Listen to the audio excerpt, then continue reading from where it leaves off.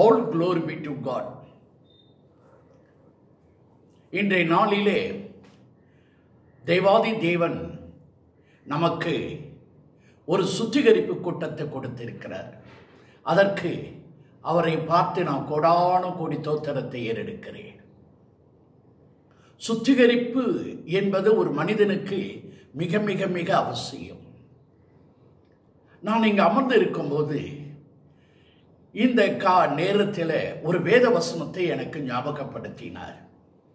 அதை நான் வாசிக்கட்டுமா ஒன்று கொருந்தியர் பதினோராம் அதிகாரம் இருபத்தி எட்டாவது வசனம். எந்த மனுஷனும் தன்னைத்தானே சோதித்தறிந்து நோட் த வேர்ட் சோதித்தறிந்து. அதே அதிகாரம் முப்பத்தி ஓராவது வசனம். நம்மை நாமே நிதானித்து அறிந்தால் நாம் நியாயம் தீர்க்கப்படோம். நம்மை நாமே நிதானித்து அறிந்தால் சோதித்து அறிந்தால் நிதானித்து அறிந்தால் நியாயம் தீர்க்கப்பட மாட்டோம். நாம் இயேசு கிறிஸ்தனுடைய இரண்டாவது வருகையினுடைய விளிம்பிலே காணப்படுகிறோம். நம்முடைய இருதயத்திலே சுத்தம் தேவை. நாம் நாளை தினத்திலே நாம் திருவிருந்தில் பங்கு பெற போகிறோம். ஆகவே சுத்தமான இருதயத்தோடு திருவிருந்தில் பங்கு பெற வேண்டும். இல்லை என்றால் ஆக்கினை தீர்ப்புக்கு தப்பவே முடியாது. ஆக்கினை தீர்ப்புக்கு எந்த மனிதனாலும் தப்ப முடியாது. சுத்த இருதயம் தேவை. ரெண்டு கொருந்தியர் ஐந்தாம் அதிகாரம் பத்தாவது வசனம். எபிரேயர் ஒன்பதாம் அதிகாரம் இருபத்தி ஏழாவது வசனத்தை வாசித்தால் ஒவ்வொரு கிறிஸ்தவனும் ஒவ்வொரு மனிதனும் நியாயஸ்தானத்திற்கு முன்பாக வெளிப்பட வேண்டும். எபிரேயர் பத்தாம் அதிகாரம் இருபத்தி ஆறு இருபத்தி ஏழு வசனங்களை வாசித்தால் ஒரு மனிதன் தன் ஓட்டத்தை ஓடி முடித்த பிறகு ஒரு பாவி பயத்தோடு நடுக்கத்தோடு அங்கே நியாயாசனத்துக்கு முன்பதாக நிற்பான்.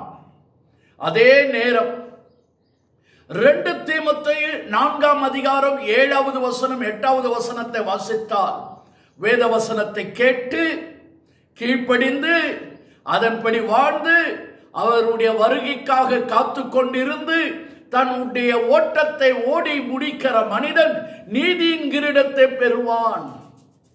நீதியின் கிரீடத்தை பெறுவான். எனக்கு அன்பானவர்களே ஒரு நியாய தீர்ப்பு இருக்கிறது என்பதை மறந்து போகாதீர்கள். நீங்கள் எந்த கோர்ட்டுக்கு போனாலும் உங்களை கேள்வி கேட்பாங்க உங்களை விசாரணை செய்வாங்க குறுக்கு விசாரணை செய்வாங்க அதன் பிறகுதான் தீர்ப்பு எழுதுகிறார்கள். அதே போல மற்றவர்கள் உங்களை கேள்வி கேட்பதற்கு முன்பதாக ஆண்டவராகிய இயேசு கிறிஸ்து கேள்வி கேட்பதற்கு முன்பதாக நீங்களே உங்களையே கேள்வி கேட்டுக்கொள்ளுங்கள் உங்களையே தற்பரிசோதனை செய்து கொள்ளுங்கள். அப்பொழுது ஆக்கினை தீர்ப்புக்கு நம்மால் தப்ப முடியும். எந்த மனுஷனும் படித்தவனோ படிக்காதவனோ இப்பொழுதுதான் வந்தவரோ அல்லது பத்து வருடங்களாக இந்த ஆலயத்திலே சீனியர் என்று சொல்லுகிறவர்களோ எந்த மனிதனும் பிரசங்கிக்கிற எண்ணையும் சேர்த்து இசைக்கருவிகளை வாசிப்பவர்களையும் சேர்த்து பாடல்களை பாடுகிறவர்களையும் சேர்த்து எந்த மனிதனும் தற்பரிசோதனை செய்து கொள்ள வேண்டும். செல்ஃப் எக்ஸாமினேஷன் ஆனால் துயரத்தோடு சொல்லட்டுமா? பொதுவாக மனிதன் என்ன செய்கிறான்? தன் வாழ்க்கையிலே மற்றவர்களை பரிசோதிக்கிறான். அவன் அப்படி இவன் இப்படி. இது லெகுவானது. வேதம் சொல்லுகிறது நீங்கள் அவர்களை பரிசோதிப்பதை பார்க்கிறோம். இந்த சுத்திகரிப்பு கூட்டத்திலே உங்களை பரிசோதித்து பாருங்கள். யோவான் எழுதின நற்செய்தியின் புத்தகம் ஒன்பதாம் அதிகாரத்தை வாசித்து பார்த்தேன். ஓய்வு நாளிலே சுகம் பெற்றான் ஒரு குருடன். அவனிடத்தில் பரிசெயர்கள் வந்தார்கள். பதினைந்தாவது வசனம் பதினேழாவது வசனம் பத்தொன்பதாவது வசனம் இருபத்தி ஆறாவது வசனங்களை வாசித்து பார்த்தால் அவன் இடத்திலே கேள்வி மேலே கேள்வி கேட்கிறார்கள். திரும்ப திரும்ப கேள்வி கேட்கிறார்கள். அவன் ஒரே ஒரு கேள்வி கேட்டான். வசனம் இருபத்தி ஏழிலே அந்த குருடன் தன் இடத்தில் அடிக்கடி திரும்ப திரும்ப கேள்வி கேட்டவளை பார்த்து ஒரே ஒரு கேள்வி கேட்டான். கேள்வி கேட்பது சுலபம். நாம் கேட்கிற கேள்விக்கு பதில் சொல்லுங்கள் என்று ஒரு கேள்வி கேட்டான். வேதம் சொல்லுகிறது முப்பத்தி நான்காவது வசனத்தில் ஒரே ஒரு கேள்வி கேட்டவனை அந்த பரிசெயர்கள் அவனை புறம்பே தள்ளிவிட்டார்கள். ஏன் நான் இதை சொல்லட்டும்? நீங்கள் மற்றவர்களை கேள்வி கேட்பது லெகுவானது. இந்த நேரத்திலே உங்களையே கேள்வி கேளுங்கள். தற்பரிசோதனை செய்து கொள்ளும்படியாக கேட்கிறேன். இந்த தற்பரிசோதனை செய்து கொள்வதிலே இந்த இறுதியை நம்மிடத்திலே கேள்வி கேட்கிறது.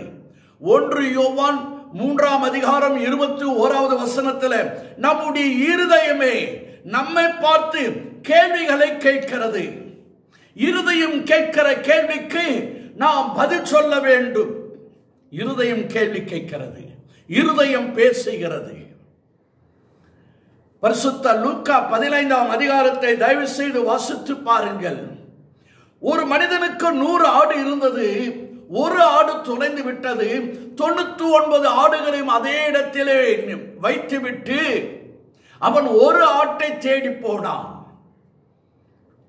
ஒரு பெண் பத்து வெள்ளிக்காசு இருக்கிறது ஒரு வெள்ளிக்காசு துளைந்து விட்டது. ஒன்பது வெள்ளிக்காசையும் பத்திரமாக வைத்துக் கொண்டு விளக்கை கொளுத்தினார். அந்த வீட்டை முழுவதும் சுத்தம் பண்ணினால் தேடினார். ஆனால் ஒரு தகப்பனுக்கு இரண்டு பிள்ளைகள் இருந்தார்கள். இளையவன் சொத்துக்களை பிரித்துவிட்டு அவன் தூர தேசத்துக்கு போய்விட்டான். ஆனால் இந்த தகப்பன் அந்த பிள்ளையை கண்டுபிடிக்க தேடி போகவில்லை. ஆட்டை இழந்தவன் ஆட்டை தேடி போனான். வெள்ளிக்காசை இழந்தவள் வெள்ளிக்காசை தேடினான். இந்த தகப்பன் தன் மகன் காணவில்லையே என்று சொல்லி தேடி பார்க்கவில்லை. காரணம் என்ன? வேதம் சொல்லுகிறது. லூக்கா பதினைந்து பதினேழாவது வசனத்திலே தூர தேசத்துக்கு போனவன் புத்தி தெளிந்த போது இருதயம் பேசுகிறது. எப்பா உங்க அப்பா வீட்டில் அவ்வளோ வேலைக்காரர்கள் இருக்கிறாங்க. உங்க அப்பா அவ்வளவு வேலைக்காருக்கு இவ்வளவு உணவுகளை கொடுக்கிறார். உனக்கு கொடுக்க மாட்டாரா? இருதயம் பேசுகிறது. அந்த இருதயம் பேசும்போது அதற்கு கீழ்ப்படிந்து திரும்பி வருகிறான். சிந்திக்கும் மனப்பக்குவம் அவனுக்கு இருக்கிறது. ஒவ்வொரு மனிதனுக்கு சிந்திக்க மனப்பக்குவம் இருக்கிறது. எனக்கு அருமையானவர்களே யூதாஸ் காரியோத்து ஆண்டவராகிய இயேசு கிறிஸ்துவை காட்டி கொடுத்தான். முப்பது வெள்ளிக்காசை பெற்றான். மிகுந்த சந்தோஷம். வெள்ளிக்காசை பெற்றுக்கொண்டு போகிறான். இருதயம் பேசுகிறது. அவர் எந்த பாவமும் செய்யவில்லையே. குற்றமற்றவர் ஆயிற்றே நீ காட்டி கொடுத்து விட்டாயே என்று அவன் இருதயம் கேள்வி கேட்கிறது பேசுகிறது. வேதம் சொல்லுகிறது. முப்பது வெள்ளிக்காசை பெறும்போது சந்தோஷப்பட்டவன். இருதயம் கேட்கும் போது அதற்கு பதில் சொல்லாமல் குற்றமற்ற ரத்தத்தை காட்டி கொடுத்து விட்டேனே என்று சொல்லுகிறான். இருதயம் பேசுகிறது. யோவான் எட்டாம் அதிகாரம் விபச்சாரத்தில் கையும் மெய்யுமாய் பிடிக்கப்பட்ட ஒரு பெண்ணை கொண்டு வருகிறார்கள். நியாய பிரமாணத்தின் படி இவளை கல்லெறிந்து கொள்ள வேண்டும். இயேசு ஒரு பதில சொல்லவில்லை. உங்களில் பாவம் செய்யாதவன் எவனோ அவன் முதலிலே கல்லெறிய கடவன். அவ்வளவுதான். நீ அப்படி பண்ண நீ இப்படி பண்ண யாரும் பேசவில்லை. இவருடைய கேள்வியை கேட்ட உடனே இருதயத்திலே பதில் வருகிறது. இருதயம் பேசுகிறது. ஐயோ இந்த பெண்ணை போல நாமும் செய்திருக்கிறோமே என்று சொல்லி அந்த இருதயம் பேசினபடியினாலே ஒவ்வொருவரும் சிறியோர் முதல் பெரியோர் மட்டும் போய்விட்டார்கள் என்று வேதம் சொல்லுகிறது.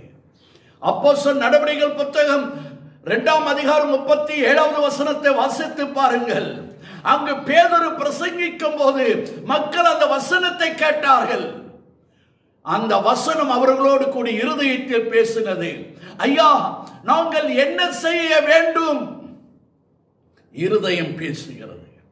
இருதயம் பேசுகிறது. என கண்பானவர்களே இந்நாட்களிலே இருதயம் உங்களோடு கூட பேசுகிறது. நீங்கள் பரிசோதித்து பாருங்கள்.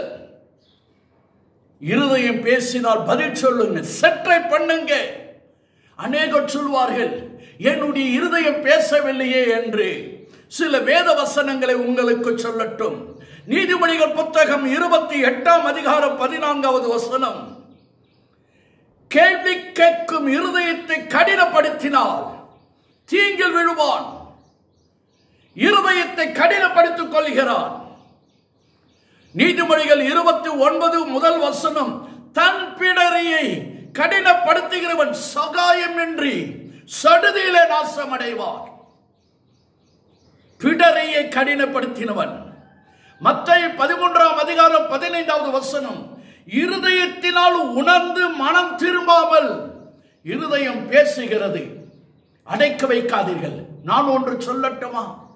மற்றவர்கள் உங்களை கேள்வி கேட்கும் போது மற்றவர்கள் உங்கள் தவறை சுட்டி காண்பிக்கும் போது உங்களுடைய சாமர்த்தியத்தினால் உங்களுடைய திறமையினால் அவர்களுடைய வாயை நீங்கள் அடைத்து விடலாம்.